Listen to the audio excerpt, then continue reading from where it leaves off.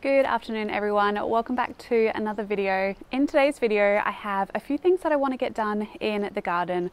I really want to start planting out one of the flower gardens that I'm going to have for spring and summer. So I thought I would share with you what I'm planting in there. I have a bunch of seedlings behind me over there that are growing very nicely and some of them are ready to plant out. It's a little windy today so I do have my mic on um, and I'm going to share with you what the plan is for that little patch over there. Like always, I have a lot more seedlings than I do space, so it's going to be pretty jam packed, but I'm sure we'll make something work over there. And then after that, Scott is going to come down and help me film and harvest a bunch of things from the garden. So hopefully, it's going to be a fun garden with me and harvest vlog this afternoon.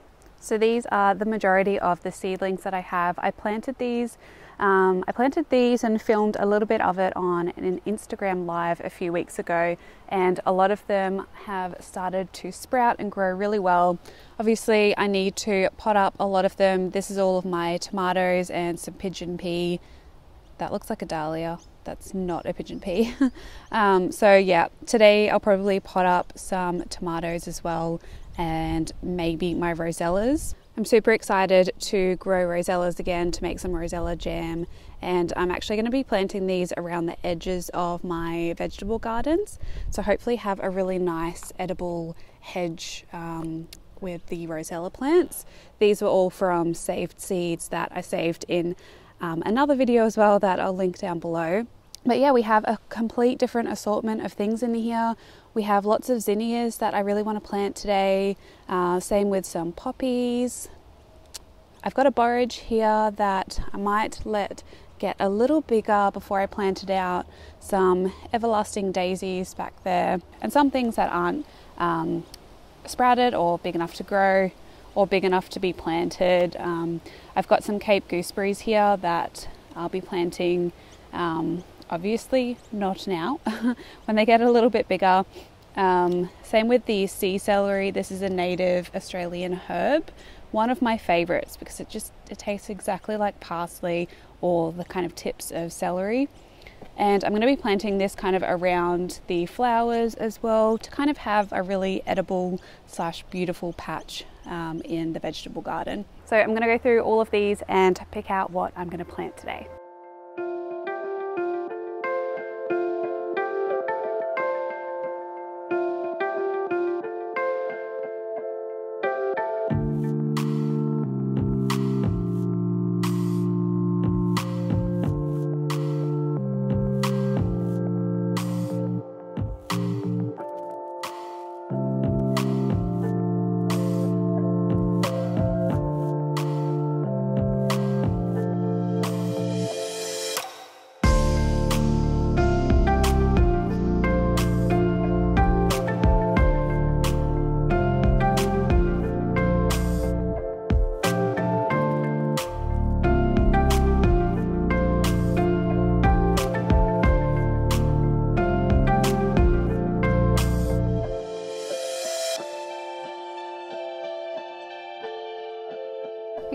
This is the selection of plants that I picked out. Mainly zinnias because zinnias just grow so, so fast, um, and now is a great time to get them in the ground. And hopefully, within a few months, we'll have some nice blooms. So, the first ones that I picked out are Polar Bear. These are a really gorgeous white zinnia. I've also got Peppermint Stick, which I'm going to plant next to Polar Bear because I think white and the kind of yellow and white will look really great together. I've also got, um, I think this is called Luminosa Bright Pink zinnia. Um, Envy, which is one of my favorites, a really gorgeous full uh, green flower. And the last zinnia that I have is Cherry Queen, really, really gorgeous red one. I've also got um, just some really small seedlings, but I found I've planted um, these out before at this size. These are everlasting daisies, um, and they're really, really hardy plants. So I'm going to be planting some of those. And two different poppies that I have. I've got um, Californian orange and a um, ballerina mix, which the germination between these two was very different. Orange was amazing with germination, and I put about the same in for the ballerina mix, and I have three little plants. So, So the orange is definitely a success. so this is the end veggie patch where I'm going to be having all of my flowers with kind of a mix of herbs. Um, as you can see, the garden is very full right now. I am planning on doing a garden tour as well to show you what's happening, but I haven't gotten around to it yet. so I'm going to space these plants out where I think I want them to go. I've also got some broccoli here um, that is obviously not ready to be taken out yet. I think it is, yeah, it's starting to get some little florets on it, um, but these will definitely just be a few more weeks, but that's okay because all of my other seedlings aren't ready to be planted out yet. Um, and then I do have some uh, red onions in here and some tatsoi that I had left over. I did also prep this bed really well. Um, got to see, got to remember what I did. On some of it, I um, spread out some worm castings and um, just compost from a different garden bed that I had left over. But on the majority of um, this bed here, I spread out some composted chicken manure Oh, I did some uh, biochar and wood ash. Those two are really great for flower beds, and the biochar for that I made in a previous video. And I also put a really good dose of the, I can't remember what it's called, I think it's the Richgro organic vegetable food. Hands down, one of my favorite fertilizers to use in the garden, vegetable patch, um, feeding fruit trees. It is one of the best fertilizers around. And I really love that there is such a great um, organic fertilizer out there, which I feel like Australia is definitely lacking. There are quite a few smaller companies that I really want to try out, but yeah, I always go for Richgro because I know I can get it basically anywhere. And then I've also covered it all with sugarcane mulch as well, my favorite mulch to use. Right, so I'm just going to grab the plants and put them where I think I want them to go.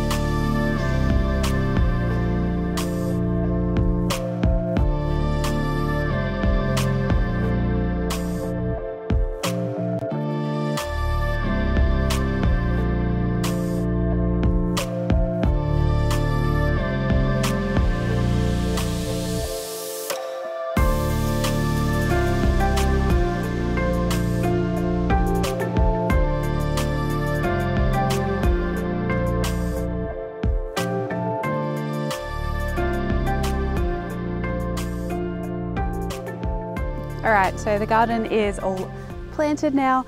They are very small seedlings and if some of them don't grow, it's perfectly fine. Um, but I just kind of need a lot of my seedling trays to plant some more seedlings um, to just get everything done that I need to do. So the bed is here behind me, and I'll turn you around and show you where and why I placed things where I did. But before I have a visitor who's visiting me right now. He's come down to say hello, and I know everyone loves to see Shadow in the videos, so he's come to say hello to you. Do you want to say, okay? Yeah, so before we say hello, we need to do a roll in the dirt, apparently. Look at you. Whoa, whoa. Wow, that's going to be lovely to clean in the house, isn't it? Yeah. Okay, whoa. Okay, well, I'll, I'll clean you up before we go in. Clean you up before we have your dinner. The happiest garden cat ever. oh, so cute. The hard thing is going to be keeping shadow out of this area. Okay, so my plan for here is this is the side that we look at it from. So this is the very end of the garden bed. So I wanted something really bright and happy and cheery down here to look at and to kind of be a border for the vegetable garden. And so I've kind of placed the plants in order of height. So up the very back, I've planted a row of the everlasting daisies, which actually get quite tall. And this is just a mix, so I'm not too sure what color, which is fine. I kind of just want a really nice green backdrop for all of the other flowers. And then I've decided to kind of do like a little bit of a meandering line of the other two different flowers that I have. So I've planted two uh, zinnia plants of each type that I have here today. Um, so first off, I plant, planted some bright pinks. Um, the next is the cherry queens. I think pink and red will go together. And then we're moving down to yeah the polar bears here, peppermint stick. Which this one in particular, I'll put an overlay of what this looked like of what this one looked like. It was the strongest seedling that I had, and I am pretty sure that is down to the fact that it just had a big clump of worm castings in that particular cell. There was also a worm in there, which indicated that there was a lot of life. But yeah, if you can, definitely use uh, worm castings in your seed raising mix because that is the strongest plant, and I know that it's definitely because of the worm castings in that cell. So then behind the broccoli, I planted the envy. And then going back, I just had um, two random orange poppies that I just put in the corner here just to see if they like a little bit more shade. Um, but then on the other side, I've kind of done the same thing where I've done a little bit more of a meandering line of the mix of poppies up the end there to kind of match with the pink colour uh, and then all of the gorgeous orange throughout here. I really like doing um, more meandering lines and rather than straight formal lines in the garden. It just creates a lot more depth to a space, particularly because this garden bed isn't that big. I want to be able to fit a bunch of plants in here. This is just the start of what I'm going to be planting in this area, but I want it to be really full and fill out really well. And to do that, it's much easier to plant in different meandering lines, to be able to fit in different pockets of more plants as these ones grow. Um, and if they grow different rates or different sizes, then I can fill in all of the gaps. Cool, so I think Scott is coming down soon, so we can get in here and harvest some veggies. Um, but before that, I just need to water all of these in and then go and grab some buckets because we've got a lot to pick today.